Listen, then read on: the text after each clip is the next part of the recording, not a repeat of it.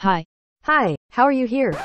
What do you mean? You can't be here if you don't have Knuckles. I have Knuckles. No you don't. Wanna bet? Sure, I bet all my money's in the bank that you can't break this block with your Knuckles. That's a great bet. Oh, really? Then let's do it. Sure, why don't you throw it? I forgot to mention that they used to call me Mr. Knuckles.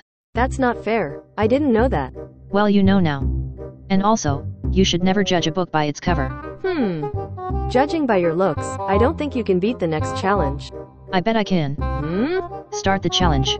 Sure, only 1% can like and subscribe before the challenge starts in 3, 2, 1. Don't move until the time is up. Hmm. This seems easy. But you forgot about one thing. There is a spider in your hair and it's huge. Are you sure you don't want to move? Hmm. You seem really brave.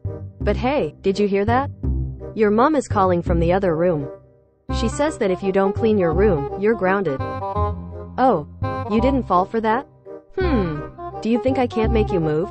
Wait, what? Did you still not move? That's impossible. Um. I give up. You win. Hey, how much monies do you have? I'm broke. It's okay, I can lend you some monies. Cheers. Yeah, yeah, yeah, yeah, woo, woo, hubba, hubba, woo, woo.